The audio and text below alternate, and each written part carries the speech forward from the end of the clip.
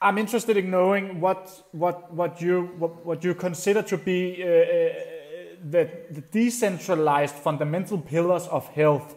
If our audience should have a takeaway from this, podcast, what are the most fundamental things they can do to optimize their health in an optimal way? Okay, if you're if you're Scandinavian, this is there's going to be a little change. The answer I always give to this question on every podcast is never not see a sunrise ever again. You must see the sunrise. The caveat for Scandinavians, if you can see the sunrise, make sure that you get in cold during when the sunrise should be there. Why? Because when you're in the cold, you will make light stronger than the sun inside of you. You guys have the ability to do that all the time. So that's like what I would say 1A is for everybody. Always see the sunrise.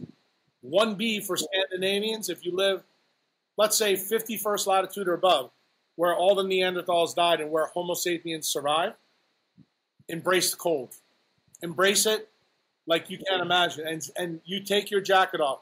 Do not wear the big uh, uh, thing that Jacob had on. I want you to be in a t-shirt, shorts like Uncle Jack was in up in in your neck of the woods. You got you guys would be stunned how I, I told my nurse this. I said, these are my people. I live the way my people should.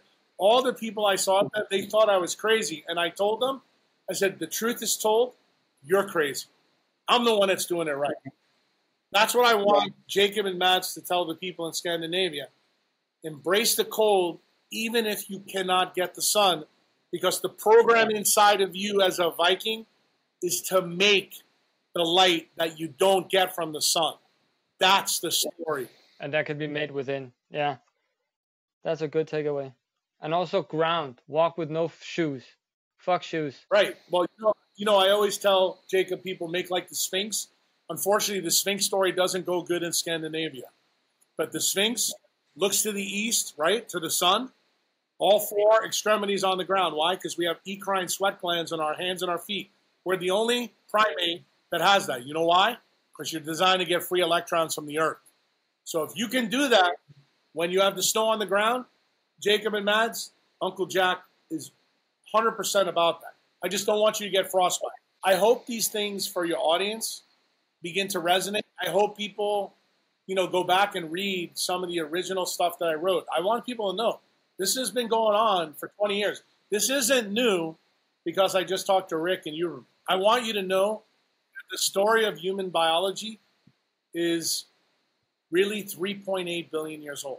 And I will take you all the way back and explain to you why we work the way we do.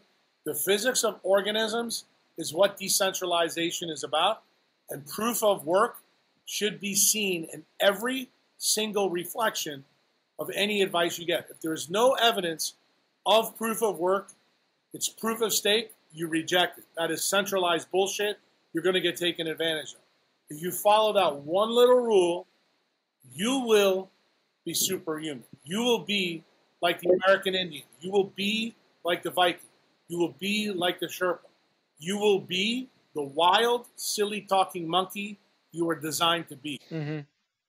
Can you can you give an example of that? Because sometimes I know that proof of work and proof of stake and Bitcoin and stuff, uh, but in for instance in science, what, what would I look for? Well, look look right behind me. You see this right here? This is this is chlorophyll. What's the proof of work? The tree has to stay out in the sun to take CO2 and water, suck the CO2 and water in, use sunlight to change it. There's work being done to make the mango. There's work being done to make the coconut. Okay? In your case, when you go outside, Jacob, and you're in the cold, how do you make the light, UV light to infrared light?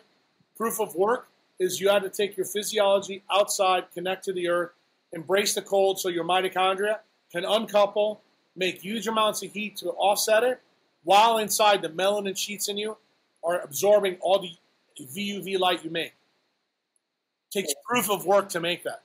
You can't do that if you stay inside in front of your computer watching Jerry Springer or whatever the hell you guys watch in Scandinavia. Okay?